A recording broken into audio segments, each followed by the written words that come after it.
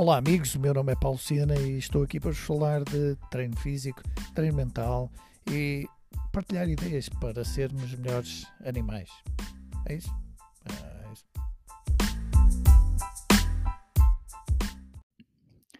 Olá, estamos de volta e hoje vamos falar de sair do sedentarismo com treinos de 5 minutos. É isso mesmo, treinos de 5 minutos. Parece pouco, mas não é pouco nós propomos aqui uma situação que tem resultado, primeiro connosco e depois com muitas outras pessoas, de usarem 5 uh, minutos do vosso tempo para fazerem alguma coisa que vos comece uh, a criar novas adaptações e vos vá tirando da zona de conforto e que vos ajude um, a incluir o exercício físico no, no vosso dia a dia. E é muito simples, não precisam de equipamento, não precisam de nada de especial a não ser um cronómetro. E mesmo que não tenham, também nem sequer precisariam disso. Nós escolhemos alguns dos melhores movimentos com o peso do corpo, os agachamentos, as flexões de braços, um tipo de, de movimento abdominal, uh, os burpees para um, realizar este tipo de, de treino. Então, qual é a ideia? Uh, vamos pegar num cronómetro, colocar aquilo a funcionar durante 5 minutos e vamos fazer o máximo de agachamentos que pudermos, ok?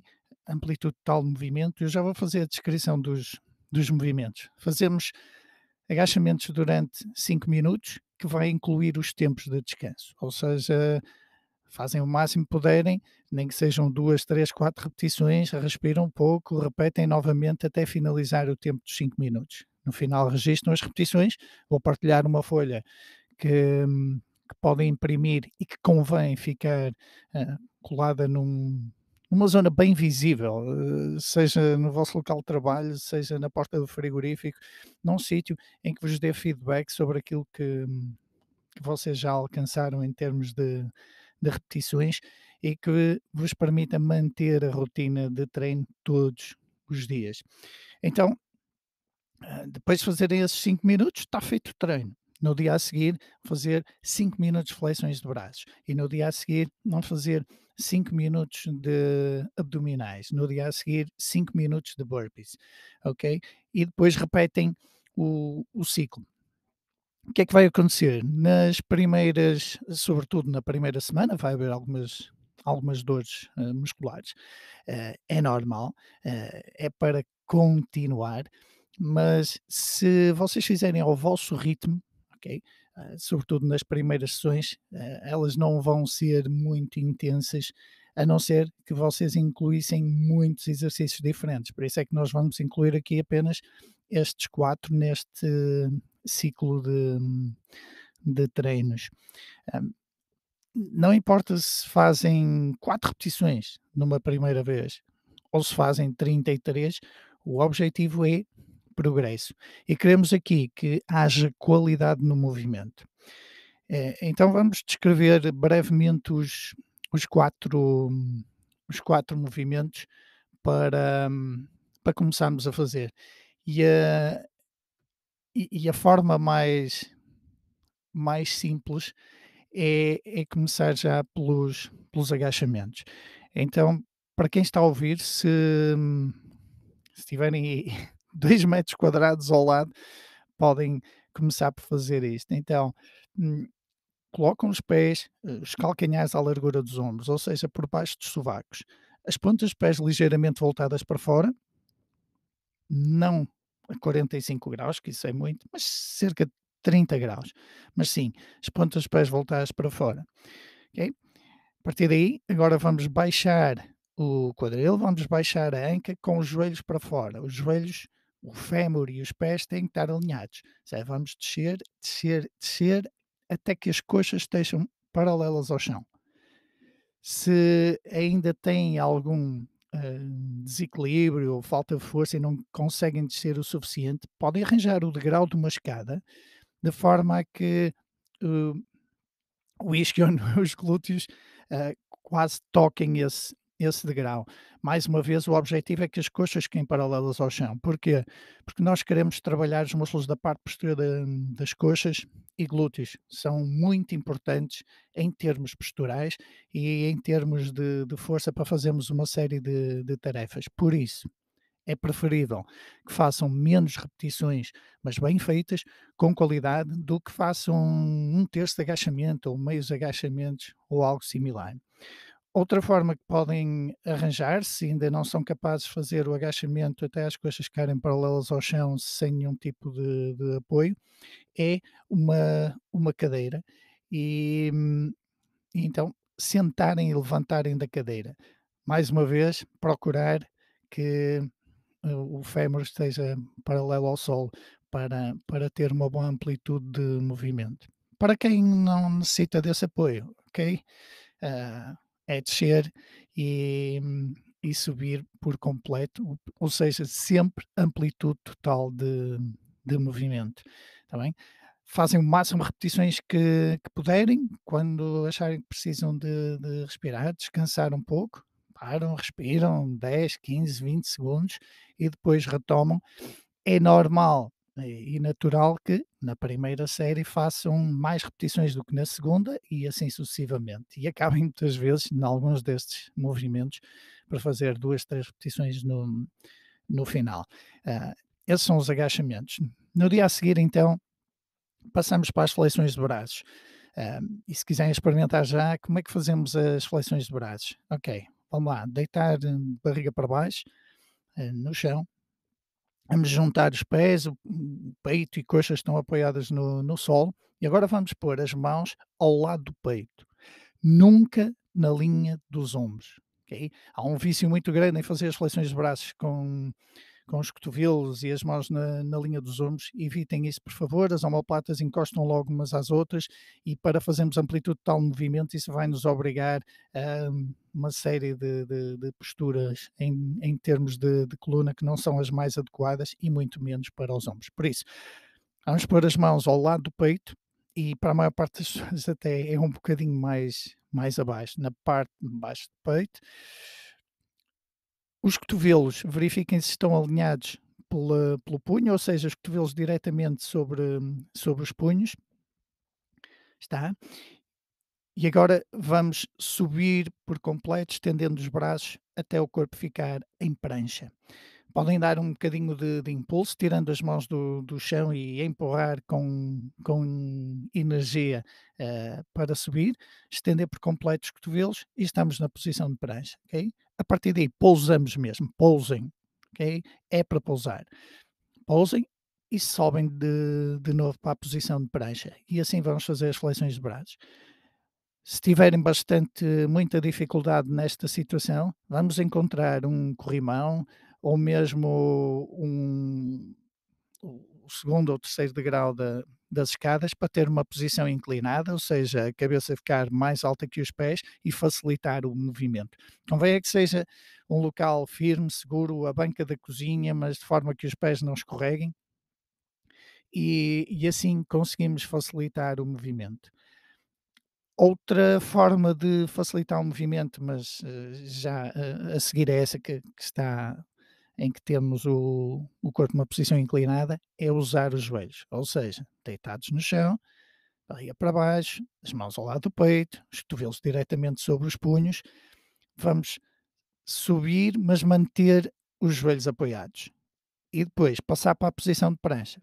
Na descida, pousamos os joelhos e descemos o resto do corpo, de forma que o peito ah, apoie no solo. Subimos novamente e manter os joelhos apoiados, tiramos os joelhos do chão, ficamos na posição de prancha, voltamos a pôr os joelhos no chão e descemos por completo o resto do corpo. É uma progressão para quem não consegue subir diretamente para a prancha, para os outros vão ter que fazer numa, numa posição inclinada.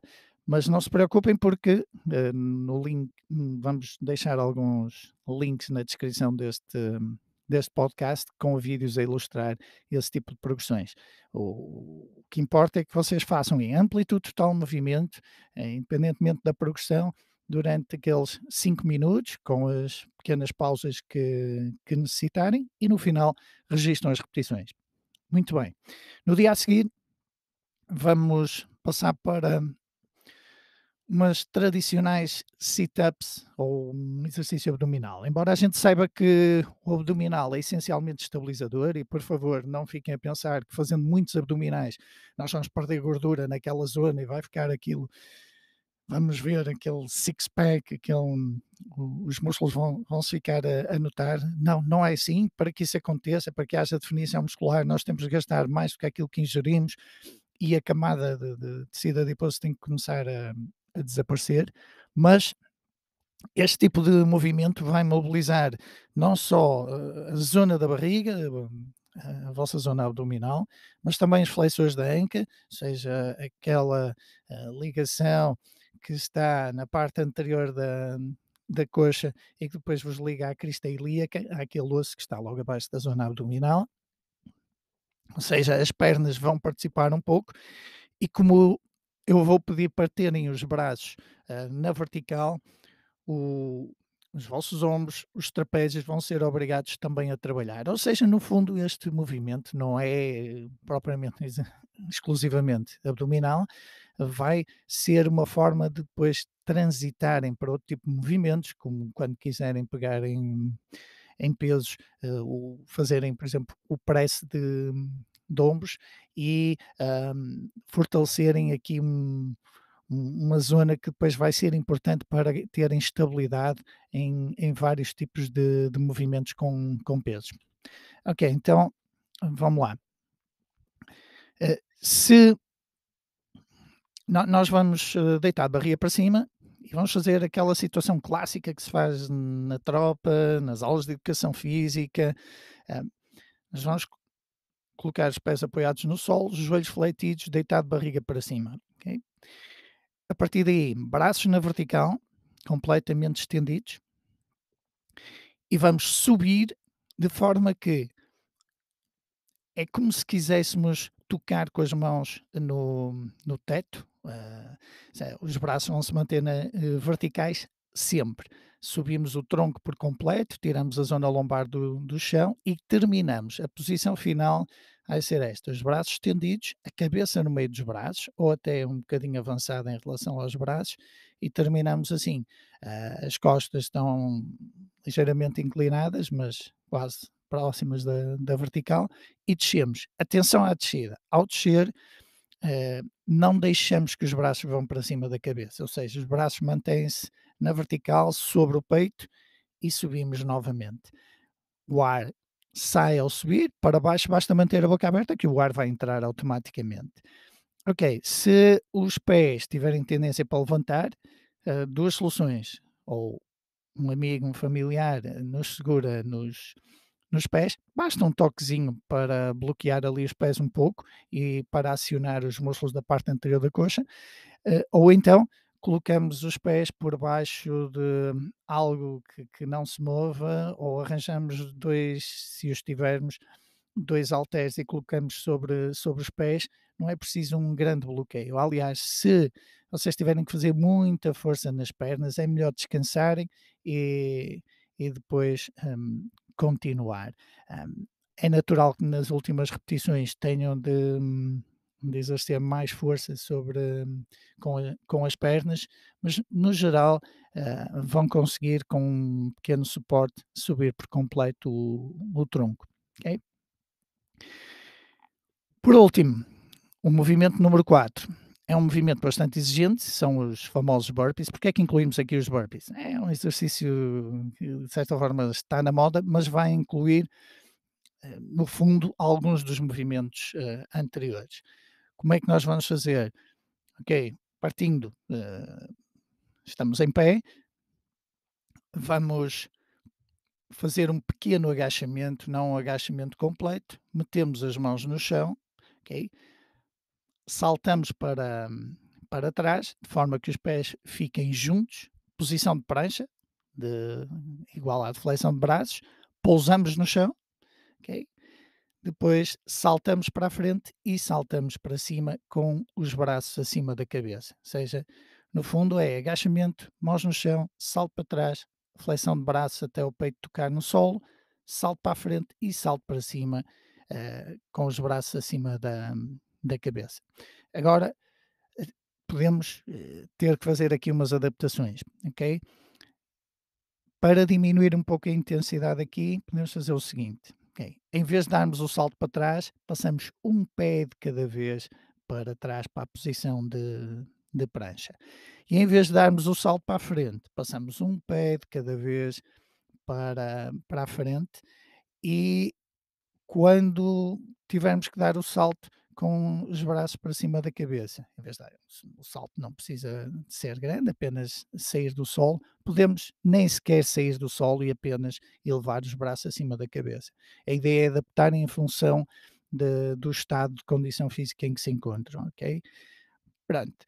Um, não vai dar para fazer muitas repetições nestes 5 minutos e provavelmente aqui uh, terá de haver muito mais pausas pelo, pelo caminho. Por isso é normal que, que, que façam 10 ou 12 repetições, é perfeitamente normal. Qual deve ser o foco aqui? Técnica. Aliás, em todos estes movimentos, o foco tem que estar na técnica. Técnica, técnica, técnica, técnica, técnica. Só depois é que nós nos preocupamos com a intensidade. Aliás, nestas duas primeiras semanas, o foco vai estar essencialmente nas questões técnicas. Fazer bem, fazer com qualidade, fazer bonito.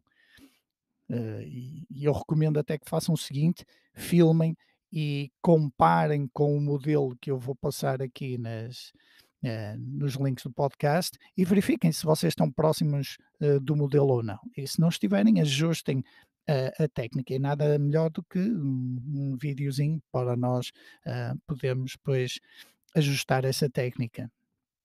Ok. fundamental aqui para que as coisas funcionem, para além desta questão técnica e de qualidade, registar sempre as repetições e fazer todos, todos os dias. 5 minutos em qualquer lado, não, não é preciso equipamento, por isso é que eu selecionei estes, estes movimentos e registar na tal folha. A folha deve estar completamente preenchida, não deve haver falhas. Se por alguma razão extrema que eu não estou a ver porque isto pode ser feito de manhã ao levantar, pode ser feito à hora do almoço, pode ser feito no meio da manhã, pode ser feito no meio da tarde, pode ser feito hum, antes de ir dormir. Embora, uh, claro, o que eu aconselho é 4 a 6 horas uh, depois de se levantarem, mas uh, o que nós queremos aqui é, é sair da zona de conforto de forma progressiva e esta, e esta, hum, esta proposta do, dos treinos de 5 minutos é, é uma boa forma de, de o fazermos. Um, vamos fazer em qualquer altura. O importante aqui é fazer, fazer e completar. Mas se por alguma razão extrema não conseguirem, ok, no dia a seguir acumulam duas e fazem uh, 10 minutos de dois movimentos diferentes, ok? Dores musculares é, são é algo normal que vai ocorrer, por isso eu recomendo sejam progressivos, foquem-se na técnica e nas primeiras vezes uh, façam ao vosso ritmo, nada de tentar bater uh, recordes. E depois, mais para diante, na, na partida, sobretudo da, da terceira semana, ok, desafiem-se um bocadinho a melhorar as repetições. É natural que há uns dias não melhorem, não vai melhorar sempre.